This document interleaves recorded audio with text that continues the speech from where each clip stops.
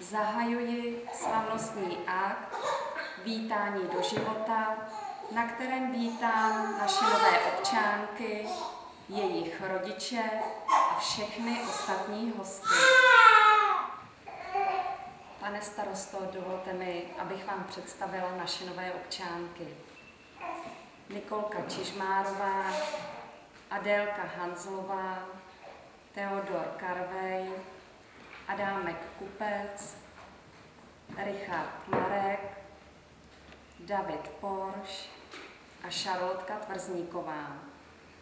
A nyní vás, pane starosto, prosím, abyste děti přivítal mezi občany našeho města. Vážení hosté, především milí rodiče, dovolte mi, abych vás všechny srdečně přivítal v obřadní síni Městského úřadu Českém Dubu. A spolu s vámi a vašimi nejbližšími prožil krásnou chvíli uvítání vašeho dítěte do života. Tímto krásným starým zvykem pokračujeme v tradici našich předchozích generací. A díky němu můžeme dnes společně s vámi chvíli prožívat radost a štěstí nad zvykem nového života.